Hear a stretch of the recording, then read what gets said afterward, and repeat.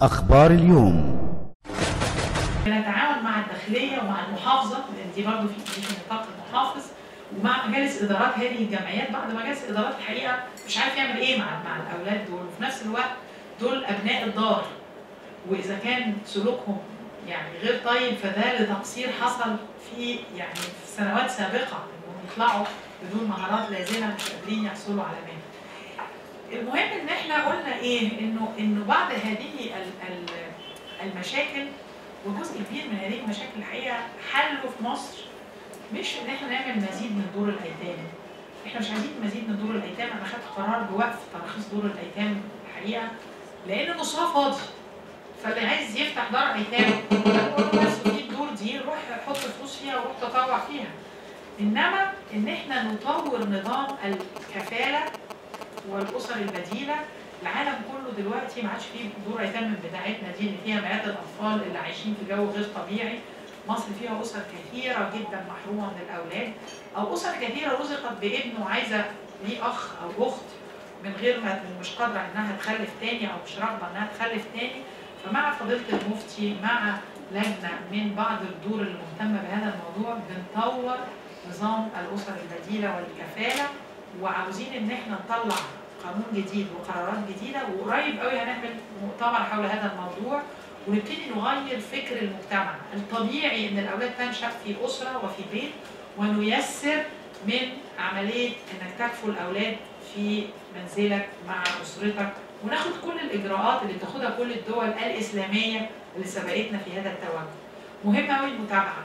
مهم قوي ان إحنا نتخير هذه الاسر ونطمئن على الأولاد لكن في ضمانات كثيرة ممكن الواحد ياخدها ويتوسع في نظام الاسر الأسر البديلة بدل ما نتوسع في آه، مزيد من دور الأيتام اللي في الآخر رعاية الأولاد فيها في جو غير طبيعي بيكون إشكالية كبيرة.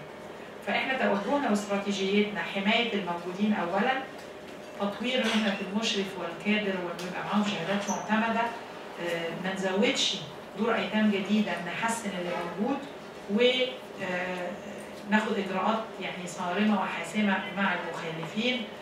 آه، في بيبقى في مخالفات في السلوك مخالفات في ال- الرعاية.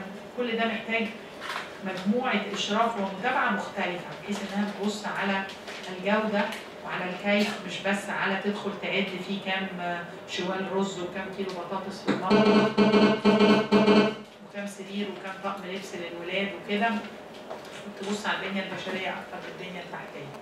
نفس القصة في دور المسنين.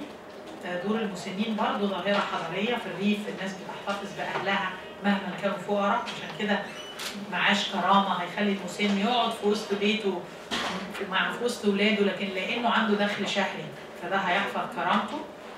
فكرامة في الريف مهم جدا لكن في الحضر أصبح في ناس بتسافر تعمل في الخارج خارج مصر تعمل في محافظة أخرى وبتضطر إنها يكون أهلها في دار مسنين فموضوع آه، آه، تقييم برضو دور المسنين وتقييم بقى كل الإدارة اللي بتعمل في هذا المجال في الوزارة بنشتغل عليه وعندنا خطة فيه وابتدى فيه الدكتور مسعد مع مجموعه العمل نفس القصة بالنسبة لنشاط التأهيل وال- والمعاقين.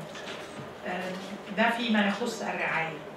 يمكن آخر حاجتين بنشتغل عليهم وحضراتكم اخد شيء اخضر تاني. آخر حاجة عملناها الأسبوع ده آه، مش عارفة إذا كانت حد من الأخبار حضرتك يمكن حضرتها اللي هو المؤتمر اللي عملناه لصندوق الإدمان ومنع التعاطي والتدخين. ده صندوق ممول من الغرامات اللي بتفرض على آه، تجار المخدرات. آه، عندنا مجموعة شابة متميزة بتقوده. أحد الأنشطة بتاعته عنده أربع أنشطة عنده خط ساخن 16023 آه، من أول يناير 2014 آه، أرسلنا 33 ألف مدمن للعلاج في 14 مركز تابع للقوات المسلحة ووزارة الصحة. في سرية تامة بتقدر إنك تحصل على علاج مجانا بنتابع العلاج بنتابع التعافي. ده عدد قليل قوي بالنسبة لأعداد المدمنين في بلدنا والمتعاطين. وإحنا محتاجين وعي أكبر مجتمعي معانا غيرنا مجلس إدارة الصندوق معانا في تنكيل وزارة العدل ووزارة الداخلية معانا في نجيب ساويرس علشان يبقى عندنا يعني مدخل للإعلام والتكنولوجيا ال- ال- المعلومات معانا في رجال أعمال مفتي الجمهوريه معانا مجموعة الحقيقة متحمسة جدا لفكرة الحد من ظاهره التعاطي. آه، 26000 شاب وشابة متطوعين معانا في الجامعات والمدارس خطتنا آه، 3000 مدرسة نحط فيهم برامج.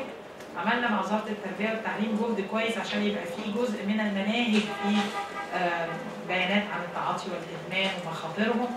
آه، مع جامعة الأزهر وقعنا آه، بروتوكول ونفذناه في الصيف إن يكون في قوافل طبية آه، ويكون في خطاب ديني ويكون في مناهج الأزهر محتوى لتحريم المخدرات والتدخين. عندنا أيضا آه، شغل في مجال رصد آه، الأعمال الدرامية في شهر رمضان من كل سنة وده ورشه العمل اللي أنا بتكلم عليها كانت لرصد عدد ساعات التدخين والإدمان والتعاطي آه، في مسلسلات رمضان. عملنا أول بحث قومي شامل لهذه الظاهرة واعلنا عنه. رمضان اللي فات ده الحقيقة آه، كم غير عادي 2900 مشهد للتعاطي وللتدخين في المسلسلات آه، إظهار المرأة المصرية تلت البطلات بيدخنوا مع إن نسبة التدخين بين السيدات في مصر أقل من ذلك بكثير. 78% من ال- الفنانين الرجال بيدخنوا مع إن نسبة التدخين في مصر 23% بين الرجال. آه، كل ما عكسته المسلسلات كان مادة تعليمية للناس إزاي يدخنوا وإزاي يتعاطوا وإن إزاي دي حاجة بتبسط وإزاي بتؤدي إلى المزاج ويبقى دمهم خفيف و... وازاي يلفوا سجاير حشيش وازاي مش عارفة يعني وبالتالي إحنا ما عندناش مانع ان صناع الدراما يتناولوا ظاهرة التعاطي باعتبارها ظاهرة مجتمعية ولكن عندنا مش إشكالية كبيرة في عدم إظهار الأثر السلبي للتعاطي والتدخين. لازم نبين المدخن ونبين آه، المتعاطي إن هو ده بيؤثر على صحته إنه بيؤثر على دخله إنه بيؤثر على صحة اللي حواليه. لكن كان عندنا مشاهد أب شايل ابنه على دراعه كده والسيجارة آه، في إيده. عندنا مشاهد في المسلسل اللي اسمه العميلة ميسي اللي هو الصوت فيه كان الفنان الكبير أحمد حلمي بيعلم إزاي يلف سجاير وإزاي يشم وإزاي يعمل وده كان مسلسل جاذب للأطفال. عندنا مسلسل زي الدكتور آه، النسا الفنان مصطفى شعبان جايبينه دكتور ومدير مستشفى وبيعمل عمليات وبيتناول مخدرات طول الوقت مع ممارسة حياته العاديه آه، ولا تؤثر على مهنته. يعني مش جايبينه مش عارف يعمل عملية والعيان مات عشان واخد مخدرات لا يعني دي جزء من من من نمط حياة طبيعي على مختلف المستويات الاقتصادية والاجتماعية. فده بيدي مؤشر خطير. وكل البحوث العلمية خارج مصر أثبتت أن اثر الدراما في التعاطي والتدخين مهم جدا وصورة البطل بتؤثر بالذات على الشباب. الحقيقة معانا فنانين يعني متعاطفين. فنانة نادية رشاد متبنية القضية فنان محمد صبحي متبني القضية كان معانا تمثيل من كل القنوات الفضائية. أنتجنا سبع أفلام للتوعية. القنوات الفضائية ابتدت في آه، يعني آه، إذاعتها مجانا. ففي ده جهد محتاجين ان نعتبره قضيه أمن قومي وحرب على المخدرات في مصر. لازم كلنا ناخدها.